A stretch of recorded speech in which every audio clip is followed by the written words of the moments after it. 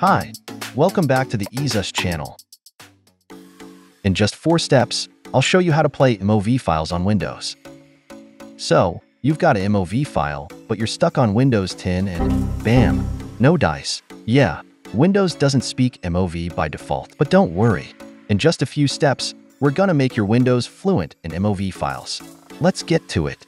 MOV is a file format made by Apple, cue the dramatic rivalry music, so Windows sometimes struggles with it. We've got some quick fixes.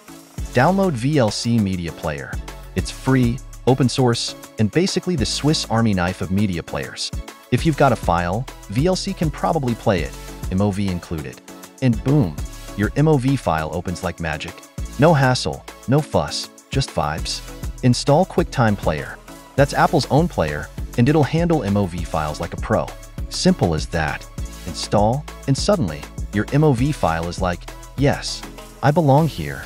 Still not working, or you just really want to use Windows Media Player. No problem.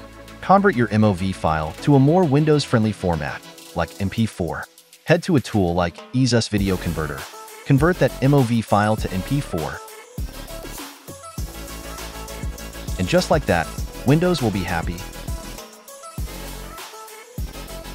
For the advanced folks, option 4, install a codec pack like K-Lite Codec Pack. It's like giving Windows a crash course in all file formats.